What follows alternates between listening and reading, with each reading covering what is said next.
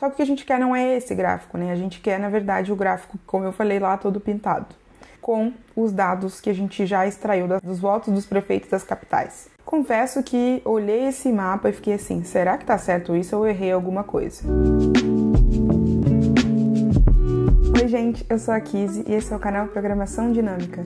Aqui você encontra vídeos sobre ensino de programação, ciência de dados, inteligência artificial discussões sobre tecnologia e seus impactos na sociedade. Esse é o terceiro pleito eleitoral que eu faço vídeos aqui no canal. A primeira vez que eu decidi abordar esse tema aqui no canal foi em 2020, eleições municipais, e deu muito certo. Depois, em 2022, eu também trouxe vídeos relacionados a dados eleitorais. E agora, em 2024, seguindo a tradição, a gente vai discutir os resultados das eleições. O Ribeiro deu um incentivo a mais para que esse vídeo acontecesse. Ele comentou há dois dias o seguinte, poderia atualizar esse vídeo. A sugestão do Ribeiro é realmente pertinente. Esse é o momento perfeito para fazer um vídeo atualizado com os dados das eleições. Retomando o que aconteceu no vídeo anterior, e eu vou deixar o link aqui na descrição desse vídeo, é esse aqui que está aparecendo aqui na tela, né, com essa thumbnail. O que eu fiz nesse vídeo foi comparar dados das eleições de 2020 com as eleições de 2016.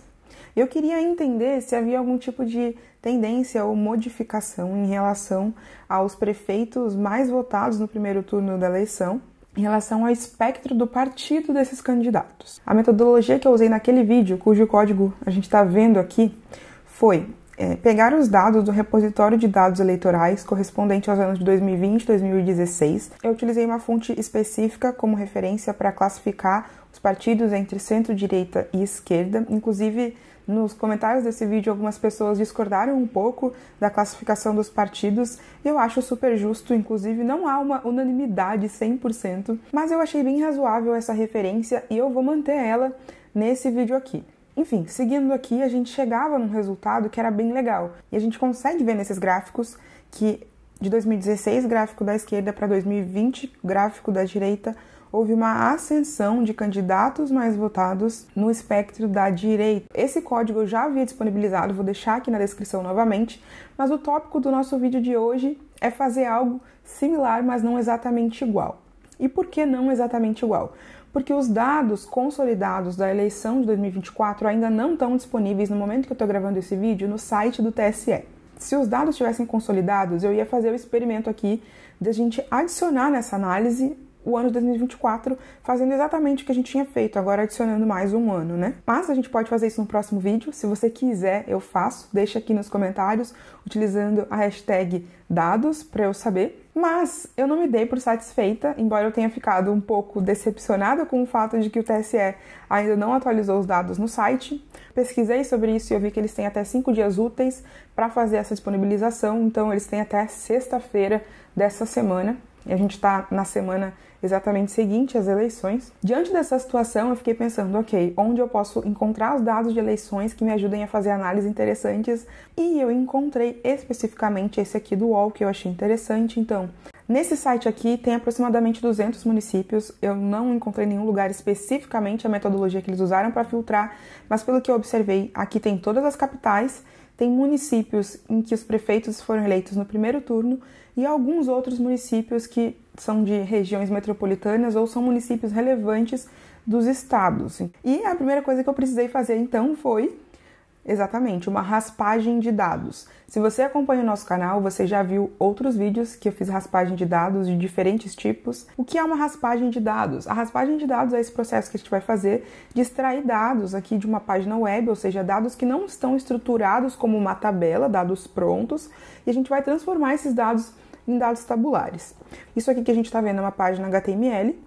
Quando eu inspeciono no meu navegador, eu vejo o código dessa página HTML e, para nossa felicidade aqui, para os raspadores de dados de plantão, dá para perceber que há um padrão nessa página. Então, todas essas caixinhas aqui, ó, elas têm uma classe específica dentro do código HTML. Isso é ótimo para raspagem de dados porque a gente tem padrão. A gente vai conseguir extrair do código essas classes específicas a gente já vai ver como isso acontece. Então, a primeira coisa, se você quer fazer uma raspagem de dados, é entender como que essa página está implementada e o que você tem disponível. O primeiro passo que eu preciso fazer aqui é conseguir copiar esse código. Uma opção é você vir aqui, ó, editar como HTML, copiar, criar um documento chegar aqui, copiar o código e salvar esse código como uma página HTML. Então, eu posso salvar aqui como eleições 2024 UOL. Com esse código HTML, eu consigo ir lá para o código Python utilizando o pacote Beautiful Soup para fazer a extração. Importante, antes do Beautiful Soup, esse notebook que eu vou utilizar aqui, ele já está disponível na descrição do vídeo, se você quiser acompanhar o código ou quiser reproduzir o que eu vou fazer aqui. Nesse notebook já temos aqui algumas coisas, então esses pacotes aqui a gente vai continuar utilizando. O código aqui ele vai seguir mais ou menos a linha do código anterior. Essa primeira célula é onde eu coloco as referências dos arquivos que eu utilizei aqui. Então, se você for reproduzir esse código, você vai precisar substituir esses caminhos que estão aqui. Lá no outro notebook anterior, eu fiz um monte de análise aqui e num determinado momento eu fiz uma exportação dos dados. Aqui, ó, tá vendo? Prefeitos mais voltados primeiro turno 2020. Eu exportei esses dados. Para minha felicidade, porque esses dados já estavam guardados, embora esse código ainda funcione, né? Eventualmente, se um código que você faz deixa de funcionar, exportar o resultado de uma análise ajuda bastante. Aqui eu utilizo da mesma forma que eu tinha utilizado antes. Eu crio um tipo categórico de espectro que tenha uma ordem. Então, eu estou dizendo aqui para o Pandas que essa coluna é categórica e há uma ordenação entre essas classes, direita, centro e esquerda.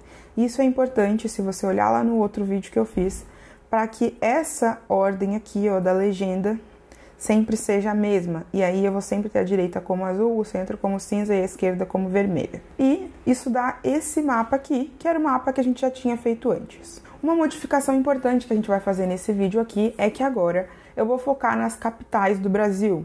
E focando nas capitais do Brasil, então eu vou mudar o mapa.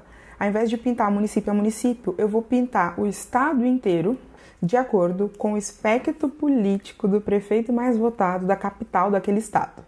E a gente vai fazer isso para 2024 e para 2020 e a gente vai comparar. A gente vai começar carregando aquele arquivo HTML que você viu que eu salvei. Eu já coloquei ele no meu Drive, eu já coloquei o caminho dele aqui em cima, ó, no meu código. O caminho dele está aqui. E eu vou conseguir importar esse arquivo. E aqui eu já vou criar também um objeto da classe Beautiful Soup, que é o que me permite fazer o parseamento desses, desse HTML. A gente roda aqui um sup.findAll. E aqui, por exemplo, eu estou pedindo para ele encontrar todas as divs no código HTML que tem a classe card election. Isso aqui é uma div, div, tá vendo? Que tem classe card election. Então, o que a gente realmente quer não é essa classe card election. Essa classe eu coloquei aqui como exemplo para você, mas a gente vai querer algo assim, ó. Eu identifiquei as classes onde tem a informação da cidade, do estado, dos candidatos, dos partidos, dos resultados percentuais dos resultados absolutos. E aqui eu vou filtrar exatamente cada uma das coisas que eu preciso. Em seguida, eu vou montar um data frame do Pandas com essas informações. E eu vou fazer isso exatamente com esse código aqui. Então, para cada candidato nessa lista aqui de candidatos que eu extraí, que são parágrafos da página HTML com essa classe, pega o texto e salva numa lista. Então aqui eu preciso criar listas que vão guardar essas informações. Por que, que eu criei essas listas e fiz isso dessa maneira? Porque essa maneira simples de criar um data frame no Pandas. Eu consigo criar um data frame a partir de um conjunto de listas. Então eu vou criar um nome e uma lista. Isso significa que vai ter a coluna município, a coluna estado, a coluna candidato e por aí vai. Então a gente pode rodar esse código aqui e a gente vai ver quem é esse cara? Eu falei que tinha aproximadamente 200 municípios, me enganei, na verdade são aproximadamente 100, porque cada município tem duas linhas aqui, tem dois candidatos naqueles quadrinhos. Então, uma correção aí em relação a que eu tinha falado. Aí veja que a gente tem então município, estado, candidato, partido, votos totais, votos percentuais. Nosso próximo passo é fazer um processamento rápido aqui das colunas votos e votos, votos totais e votos percentuais, porque essas colunas elas estão com o tipo object, provavelmente, que é o tipo string aqui do pandas, e a gente quer que elas sejam numéricas, que ele entenda isso como um número e isso aqui como um número. Então, o que, que a gente tem que fazer na prática? Tirar esse percentual daqui, botar um ponto, tirar esse ponto daqui, depois a gente consegue converter o caso do percentual para um número é, decimal, que é o float, e o caso desse outro número de votos aqui para um número inteiro. É isso que a gente quer e é isso que a gente vai fazer agora. E agora sim, a gente tinha todas as colunas como strings e agora a gente tem as colunas como inteiro e float. Legal, acabou não? Só começou.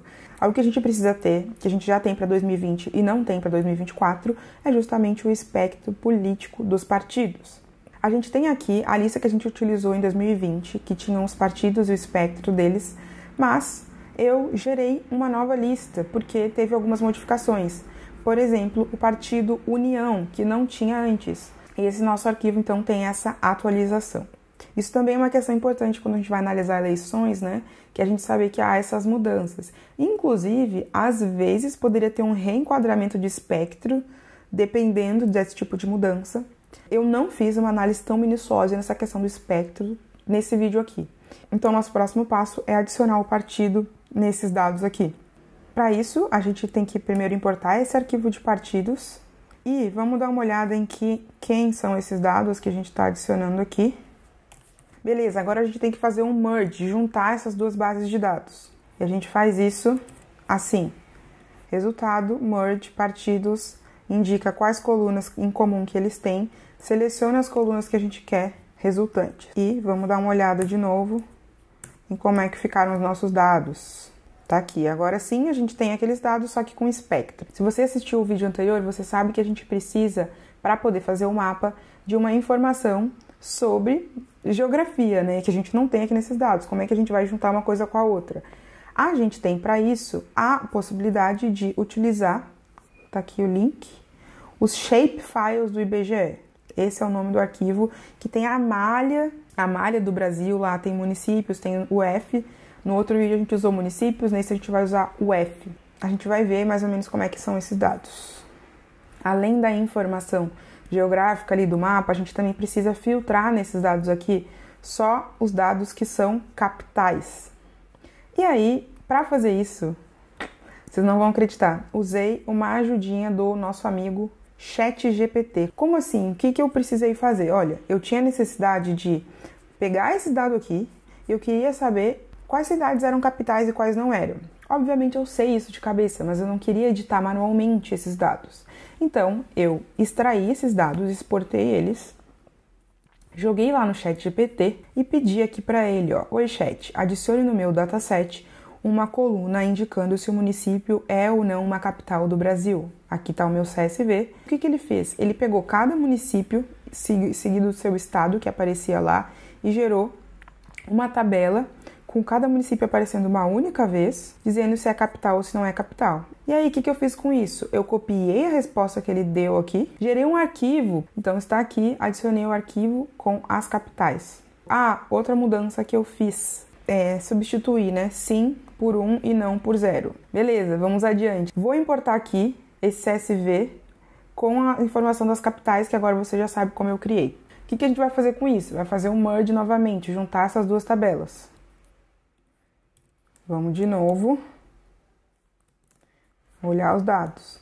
Agora eu tenho que conseguir filtrar as capitais e não só isso, eu não quero filtrar os dois candidatos de cada capital, eu quero filtrar o candidato mais votado daquela capital. A gente seleciona a capital, depois a gente seleciona o índice das linhas que tem maior voto e faz um filtro aqui dos nossos, nos nossos dados. Então temos aqui, ó, por fim, a gente vai importar os dados do shapefile dos estados.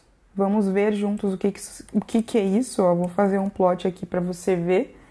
Ele vai plotar o mapa do Brasil. Então, isso aqui é um Geodata Frame. A gente tem uma coluna Geometry que tem é, formas mesmo aqui, ó, e tem área, etc. Tem algumas informações. Isso aqui que, que o GeoPandas precisa para poder fazer um gráfico tipo esse aqui. Só que o que a gente quer não é esse gráfico, né? A gente quer, na verdade, o gráfico, como eu falei lá, todo pintado. Para isso, a gente vai fazer mais um merge. A gente vai juntar os dados aqui do, do GeoData Frame, dos estados do Brasil, com os dados que a gente já extraiu das, dos votos das, das capitais, dos votos dos prefeitos das capitais. Então, eu vou fazer um merge desse estados GeoData Frame com os dados dos candidatos mais votados às capitais de 2024. É agora que o nosso gráfico tem que aparecer. Que maravilha, conseguimos. Dá pra gente ter uma noção que o negócio está diferente de 2020, mas a gente vai tirar a prova utilizando os dados de 2020 e vai fazer os dois mapas lado a lado para a gente fechar a nossa análise. Como eu foquei bastante aqui em 2024, eu não vou explicar cada detalhe do código de 2020, mas como eu falei, você pode olhar esse código. O que você precisa saber é que assim como eu precisei para 2024, eu precisei juntar alguns conjuntos de dados diferentes aqui. Além do Geo Data Frame de estados, eu usei esse dado aqui sobre os códigos do TSE para os municípios para eu conseguir fazer justamente a junção de todas essas bases de dados. E aí a gente vai chegar no que a gente realmente queria, que é ter a comparação e ver o que de fato mudou de 2020 para 2024. Confesso que olhei esse mapa e fiquei assim: será que tá certo isso ou errei alguma coisa? E para tirar a prova, eu fui procurar no Google, achei aqui um veículo que fez uma análise nesse sentido de entender o espectro dos resultados aqui. Então a gente vê, ó, aqui eles estão indicando que foi candidato de centro, mas veja que eles botaram como indefinido, e de fato estão indefinidos aqui do meio, os que foram pro é, segundo turno, né? E os azuis, veja que tem realmente azuis aqui e um único vermelho que aparece também no nosso mapa. Esse único vermelho é o estado de Pernambuco. Aqui eles fazem uma análise numérica, né, e quantitativa. Nessa parte aqui a gente consegue de fato perceber essa questão. A maior parte aqui, ó, o primeiro lugar está no lado esquerdo, azul, azul, azul, amarelo, azul, amarelo, azul, azul, azul, azul, azul. Só tem um vermelho que é Recife, que é justamente no estado de Pernambuco. Mas veja que a gente tem poucos vermelhos e quando eles aparecem, eles estão no segundo lugar.